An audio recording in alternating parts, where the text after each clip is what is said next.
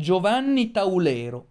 Giovanni Taulero fu un domenicano tedesco e divulgatore del misticismo di Meister Eckhart in lingua tedesca. Fu uno dei più grandi mistici e predicatori del Medioevo. Nacque a Strasburgo verso il 1300 e a Strasburgo morì il 16 giugno del 1361. Taulero era figlio di un signore benestante e pare che, ancora giovane, entrasse nell'ordine domenicano della sua città, dacché, secondo la sua stessa testimonianza, la vita ascetica di quell'ordine esercitava su di lui una grande attrazione. Forse, nel, cos- nel corso dei consueti otto anni di studio nel monastero, ha ascoltato i sermoni di Eckhart, con il quale comunque strinse una più stretta conoscenza in seguito, quando studiò all'Università dell'Ordine a Köln, Colonia, e probabilmente nello stesso eh, contesto conobbe anche Susone. Non sappiamo se Taulero abbia studiato anche a Parigi. Si propende eh, nel pensare che da Colonia si sia spostato a Strasburgo e verso il 1339 e fino al 1348 Taulero visse a Basilea. Qui, insieme a Enrico di Nördlingen, era eh, al centro di una grande società detta gli Amici di Dio di Basilea.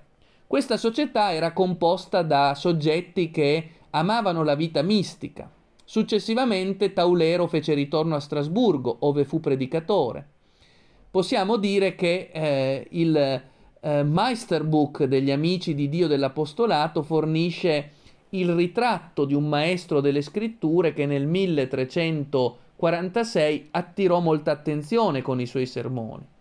Un giorno un laico accusò questo maestro di cercare solo la sua gloria personale e non quella del Signore, e aggiunse che probabilmente non aveva sopportato i fardelli che aveva imposto agli altri. Senza eh, fare alcun accordo, il maestro si fece guidare dal laico e imparò da lui a dimenticare il mondo e se stesso e a volgere tutti i suoi pensieri verso Dio, conducendo un'esistenza dedicata allo spirito. Per due anni visse recluso e quando principiò a predicare nuovamente, la prima volta l'effetto fu talmente grande che 40 di coloro che lo stavano ascoltando ebbero le convulsioni e 12 poterono essere rianimati solo a stento. Dopo nove anni il maestro si ammalò gravemente e dopo aver chiamato il laico gli affidò un resoconto scritto della propria conversione al quale l'uomo aggiunse cinque sermoni che aveva copiato precedentemente. Un tempo era eh, ovvio identificare Taulero con questo maestro. Il Meisterbuch era del 1498, incluso nelle edizioni dei sermoni di Taulero. In tempi più recenti, però, è stata confermata più chiaramente questa opinione, anche se nel trattato Taulers Becherung eh, Denifle ha apportato prove schiaccianti contro questa teoria. In ogni caso, gli, oggetti, gli scritti di Taulero non sono stati ancora oggetto di una approfondita analisi critica. Si sa solo che molto di ciò che gli è stato attribuito è dubbio e molto non è autentico. Sicuramente Taulero non scrisse il libro eh, intitolato eh, Nachahmung des Armen Lebens Christi o anche Von der Geistlichen Armut. Gli esercizia super vita et passione Gesù Christi e le canzoni spirituali che gli sono state attribuite sono anch'essi spuri. Nella migliore delle ipotesi, Taulero scrisse solo una piccola parte del Medulla Anime o delle Institutiones Divine, sicché solo i sermoni rimangono quale sua opera effettiva e certa. La prima edizione comparve nel 1498 a Leipzig e includeva 84 sermoni, la seconda, apparsa a Basilea nel 1521-1522, ne aggiunse altri 42, alcuni dei quali, eh, a ogni modo, non erano considerati di Taulero. Nella terza edizione, Colonia 1543, ne vennero aggiunti altri 25, tra i quali ve ne sono altri che sono spuri. Quest'ultima edizione, Colonia 1543, venne tradotta in latino da eh, Laurentius Surius e venne poi usata per tradizio- traduzioni in varie lingue e per ritraduzioni in tedesco. Le edizioni moderne sono basate sulle vecchie edizioni tedesche.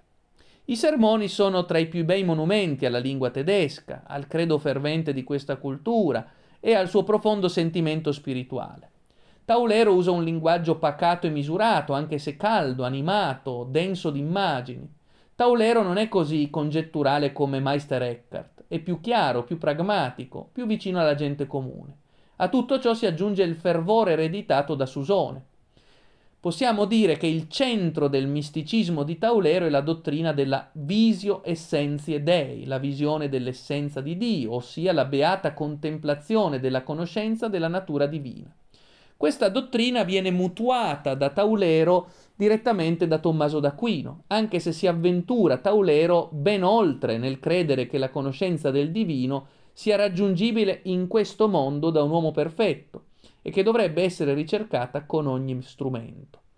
Dio per Taulero è presente in ogni essere umano e per fare sì che questo Dio trascendente possa apparire nell'uomo come un secondo soggetto, le attività umane peccaminose devono cessare. In questo tentativo un aiuto è dato dalla luce della grazia, che innalza la natura umana al di sopra di essa. La strada che porta a Dio è la strada dell'amore, da che Dio risponde alla sua più alta espressione mostrando la sua presenza. Taulero dispensa a questo riguardo i consigli più diversi per raggiungere l'apice della religione, dove cioè il divino entra in contatto con l'uomo. Bisogna dire qualcosa a proposito della posizione di Taulero eh, con, rispetto alla Chiesa.